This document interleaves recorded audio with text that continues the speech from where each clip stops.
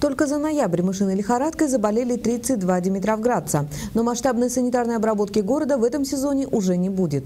Ближайший период возможной обработки – весна.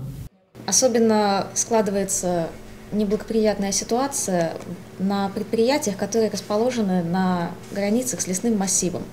У нас зарегистрировано несколько групповых вспышек заболеваемости, в том числе достаточно серьезная ситуация сейчас складывается в войсковой части, где уже больше десятка заболевших. Специалисты настоятельно рекомендуют провести дератизацию на всех подворьях и предприятиях. Татьяна Елисеева, Валерий Мазин, Новости Димитровграда.